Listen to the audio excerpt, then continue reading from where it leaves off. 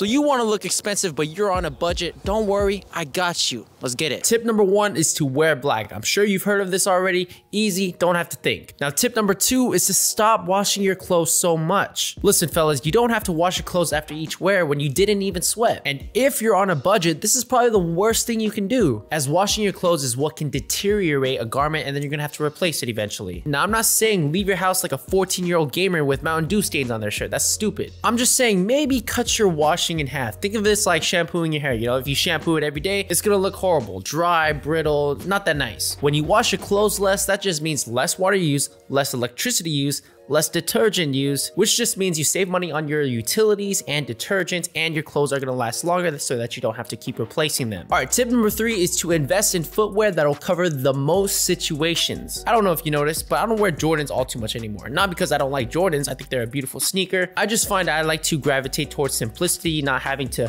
think so much about, okay, what goes best with this type of sneaker and trying to create a ton of fits and waste a good chunk of time doing that. I like sneakers that can fit in basically every single outfit I put together. And you know what will cover the most situations? White leather sneakers and Chelsea boots. But in my case, it's the Doc Martens Chelsea boots because I don't know if you noticed, the New York City area isn't winning any awards for the cleanest city in the world, and dog owners don't seem to pick up their dog's poop, but whatever. These, while being up there in price, will never be replaced, so you'll get more bang for your buck. Because of how many outfits these can complement, your cost per wear is going to be so small because you're going to be wearing it so much. And of course, these types of footwear do look expensive because of their leather materials. These white leather sneakers I can wear with wide fit cargos all the way to slim fitting trousers. And the boots are perfect for dates, for meetings, for work. Just these two kicks alone is going to take your fashion journey very far. And tip number four is trousers, trousers, trousers. Trousers are the most timeless pants that you can own, and they make it in so many variations that there's always going to be something for everyone. And they go with everything as well while being in that chic, expensive vibe. Like, I, I just don't know what it is about these pants. They just feel premium, they make you look nicer, and they make you look more expensive. And I think I have to give it to the pleated work, which is just that simple crease that adds a sharp line to the whole entire garment. Trousers over denim and cargo pants any day if you're trying to look expensive. Like check out these trousers right here. I don't know if you can see. These are only 50 bucks from Uniqlo. Just a simple single pleat that will stay in my wardrobe forever. And that is just the beauty of Uniqlo and why I always recommend them. And I can actually finally say this, this video is brought to you by Uniqlo. So Uniqlo is the best place to start off in fashion as a dude, or even if you're a veteran. Uniqlo's basics and essentials are premium for the price, the designs are timeless, and they have a variety of styles. Like just check out their latest Uniqlo U collection. This poncho fits in a more tech wear look, this minimal overshirt is timeless and comes in a variety of colors, and they got more trendy stuff like this oversized jacket and their parachute pants. But y'all know me, I've been rocking their oversized tees and their coats for years. And that's what you want in order to save some money and look chic at the same time. Timeless pieces, premium construction, with a little risk involved in terms of the designs, the color choices, etc. Alright, I'm about to show y'all just how versatile Uniqlo's items are. Here we have an outfit base consisting of just their trousers and their tank top. And this alone is a good base to start off with. It's getting warmer now, so all you really have to do is throw on the minimal overshirt.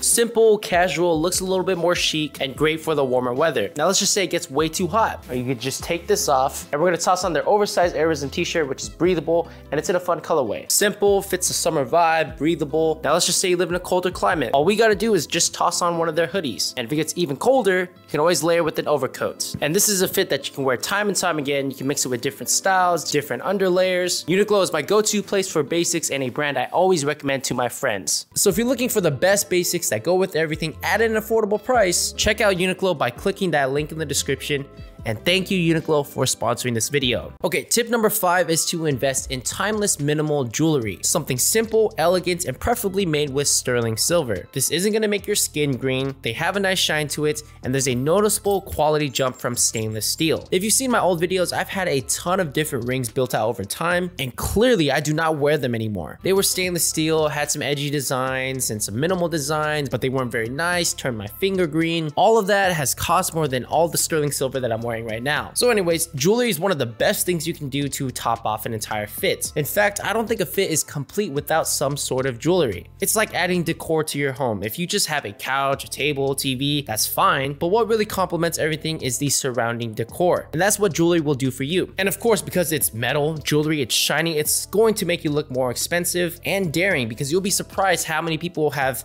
told me they want to try out rings, but they're held back by something and they never even try something out. Now, tip number six is to add something with a collar to your wardrobe. This can be in the form of a polo, a dress shirt, or my favorite, the coats. The coat brings two things, that lapel collar which adds a sort of sophisticated, put together look, and also adds length to your outfit proportions. Now some of my other favorites are the minimal overshirt, which is the item that'll give you the most bang for the buck. They're timeless, come in many different colors, textures, cuts, so that you have plenty of options. And they look so clean, mature, yet they can be styled in a very casual way as well. Which just means, you guessed it, more bang for the buck. And when you pair the minimal overshirts with the trousers and the white sneakers I talk about, you have my go-to outfit right there. Which just leads to my next tip. Tip number seven, have a variety of outfit templates. A template is something you can follow, plug and play without having to think. Because you don't have to reinvent the wheel every time. You know why? That takes money. So if you have a go-to template, your money can just go to making that template even better instead of spending your money on a variety of different items that don't even go together. So even if it doesn't look expensive right now, money will always come through if you're working, of course, and you can always add jewelry to the template, accessories, different layers, which then might lead to even more templates. Now tip number eight, fit is everything. Everybody knows about this, but I still see people not apply it to their lives. Listen, man, if you're scrawny, a fitted shirt is only going to emphasize how much of a twig you are. And if you're a big dude, a super oversized shirt isn't gonna work either. So I always recommend follow creators with your same body type. There's a ton of creators making dope content for all sizes, and you can relate, you can get inspiration from them, and better your style. Now, I think I'm at a place where I can sway both sides. I can wear fitted clothes, I can wear oversized clothes, and that is because of tip number nine, hit the gym. Listen, I'm all for feeling confident in your own body, but I'm not for being complacent. I believe every human should be doing some form of exercise, whether that be weight training, martial arts, yoga, or even going for a walk for a half an hour a day. And eventually, when you do lose weight or you put on some size, you'll be able to sway on fitted clothes or oversized clothes depending on your mood, which just means more options, which just means more bang for your buck. Exercise is proven to release endorphins, making you feel good, and you're just overall going to be more proud of yourself, which just leads to the final tip, and that is to build confidence. Listen, fellas, competence leads to confidence. When you get good at something, there's absolutely no way you can't be confident. And the reality is, most people aren't good at anything, and I don't want that to be you. So when you become confident and you're more sure of yourself, comfortable in your own skin, that just makes any outfit look better. Like if you're walking around heads down, unsure of yourself, not knowing what to do, I don't care how nice or expensive your outfit is, that's just going to make it look worse. Like confidence is just something you could sniff off of someone. And this goes to my short kings out there. Hey,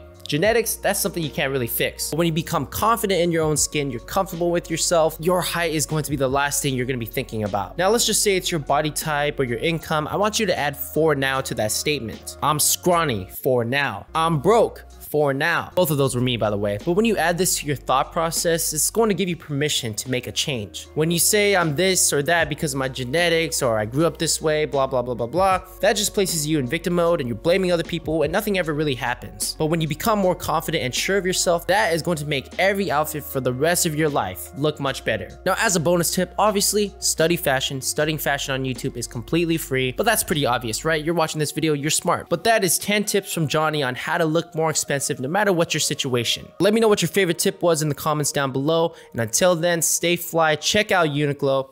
Deuces.